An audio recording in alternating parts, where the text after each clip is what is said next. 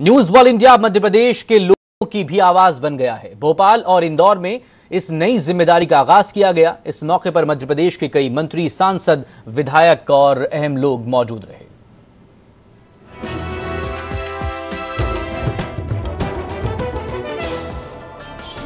जनता की आवाज़ बनते हैं हम। दो बैंक हैं पंजाब नेशनल बैंक और स्टेट बैंक हक और हुकूक की बात हुक्मरानों तक पहुंचाते हैं हम।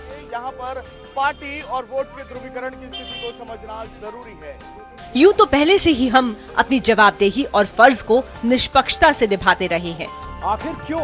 दिल्ली की सड़कों पर फैली है गंदगी। लेकिन अब हम एक और बड़े लक्ष्य ज़िम्मेदारी की ओर बढ़ चले हैं।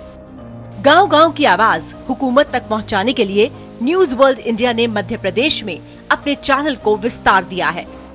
इस बड़ी जवाबदेही को पूरा करने में CSR journal news world India की पूरी मदद करेगा। सूबे की राजधानी भोपाल में कई बड़े सियासतदानों और अफसरों की मौजूदगी में चैनल की भव्य शुरुआत हुई।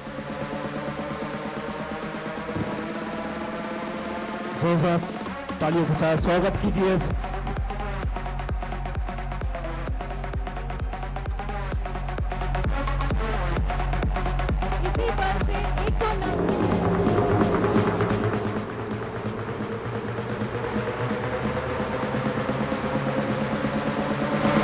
इस मौके पर चैनल का जोश और उमंग बढ़ाने के लिए पूर्व केंद्रीय मंत्री सुरेश पचौरी, जनसंपर्क एवं संसदीय कार्य मंत्री नरोत्तम मिश्रा, विज्ञान एवं प्रौद्योगिकी मंत्री उमा शंकर गुप्ता, पंचायत एवं ग्रामीण विकास मंत्री विश्वास सारंग, सांसद आलोक संजर, शिक्षा मंत्री Deepak Joshi, SP Arvind Saxena, news world India की सृष्टि जिंदल, सीएसआर जर्नल के editor in chief Amit Upadhyay और समीर प्रभाकर मौजूद रहे।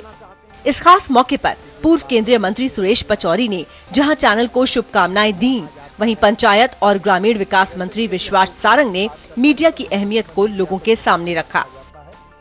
जिसने देश में अपना नाम विख्यात किया है और उड़ीसा में जिसने एक अपनी छाप छोड़ी है, उसकी शुरुआत देश के हृदय प्रदेश, मध्य प्रदेश से होने जा रही है। मुझे पूरा यकीन है कि जिन बातों के लिए मीडिया जाना जाता है, पहचाना जाता है, जो अपेक्षाएँ दर्शकों की होती हैं, उन कसौटियों पर ये न्यूज़ चैनल हमारे प्रांत में खरा उतरेगा। लोकतंत्र की बात करते हैं तो लोकतंत्र में मीडिया को चौथा खंबा कहा जाता है। लोकतंत्र ठीक ढंग से चले, जनता का जनता के लिए, जनता द्वारा किया हुआ शासन, प्रशासन यदि स्थापित करना है तो उसमें निश्चित रूप से मीडिया का बहुत बड़ा रोल होता है। निश्चित रूप से समाचार हमारा कैसा हो, सुबह हम समाचार कैसा दें, जिससे समाज को एक दिशा कैसे मिल सके। मैं शुभकामनाएँ देता हूँ। आदरणीय दीदी को कि आप लोगों ने न्यूज़ वर्ल्ड चैनल जिसमें इंडिया भी लिखा हुआ है। वर्ल्ड के साथ इंडिया का अपना एक अपना महत्व है और मुझे पूर्ण विश्वास है कि इस न्यूज़ चैनल के माध्यम से समाज को गति मिलेगी समाज आगे बढ़ेगा। शिक्षा मंत्री दीपक जोशी ने भी चैनल की तारीफ़ की और साथ ही उन्होंने करियर काउंसलिंग और शहीदों की ज़िंदगी पर आधारित कार्यक्रम चलाने की सलाह भी दी। एक आधे घंटे का प्रोग्राम बच्चों के काउंसलिंग के लिए होना चाहिए कि उन्हें क्या करना चाहिए। अगर वो बीएससी कर लिया बीकॉम कर लिया इंजीनियरिंग कर ली, या उनको फर्दर कहाँ जाना चाहिए, इसकी व्यवस्था होना चाहिए। और दूसरा मैंने कहा था कि हमारे देश में इतने असंख्य क्रांतिकारी शहीद हुए हैं। क्या आठ बस, आठ बजे के आसपास एक कार्यक्रम पाँच मिनट का, उस दिन का जो शहीद हुआ, उसकी ज़िंदगी के बारे में बताने का प्रोग्राम चैनल अवश्य करे, शुरुआत करे। जिस सीएसआर जर्नल के साथ मध्य प्रदेश में न्यूज़ वर्ल्ड इंडिया ने बड़े लक्ष्य की ओर कदम बढ़ाया है। उसके editor in chief Amit Upadhyay ने लोगों को यकीन दिलाया कि ये चैनल निश्चित तौर पर लोगों की आवाज़ बनेगा। कोशिश यही है कि न्यूज़ वर्ल्ड के साथ मिलके वो परिवर्तन ला सकें, क्योंकि ऑब्वियसली आज हमको ज़रूरत है न्यूज़ वर्ल्ड जैसे किसी मज़बूत प्लेयर की जिसका फुटप्रिंट बड़ा हो, जो देश में हर जगह पहुँच रहा हो। हम अपनी आवाज़ हर उस जगह तक पहुँचा सकें जहाँ हम पहुंचाना चाहते हैं। आज हमने साथ में ये पार्टनरशिप की है और इस उम्मीद से ये पार्टनरशिप की है कि सीएसआर जो सब लोग जानते हैं कॉरपोरेट सोशल रिस्पॉन्सिबिलिटी हम उसको बदलना चाहते हैं और हम सबको ये बताना चाहते हैं सीएसआर सिर्फ़ कॉरपोरेट सोशल रिस्पॉन्सिबिलिटी नहीं है सीएसआर सिटीजन सोशल रिस्पॉन्सिबिलिटी भी है।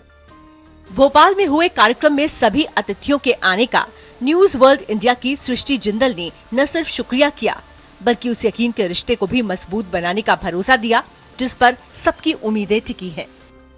विश्वास दिलाती हूँ कि सीएसआर जर्नल और न्यूज़ वर्ल्ड इंडिया आप सबकी कसौटी पर खरा उतरेगा और मध्य प्रदेश के विकास में मील का पत्थर साबित होगा जो भी आप सबने सजेशंस दिए, वो ज़रूर लागू होंगे इससे पहले जन जन की आवाज़ को पहुँचाने के लिए इंदौर में एक हाईटेक स्टूडियो का भी उद्घाटन किया गया। इस मौके पर मध्य प्रदेश पुलिस के ADG Ajay Sharma DIG Harinarayan Mishra, news world India से सृष्टि जिंदल और सीएसआर जर्नल के editor in chief Amit Upadhyay मौजूद रहे। सभी अधिकारियों ने इस बड़ी ज़िम्मेदारी को उठाने के लिए चैनल को शुभकामनाएँ दी।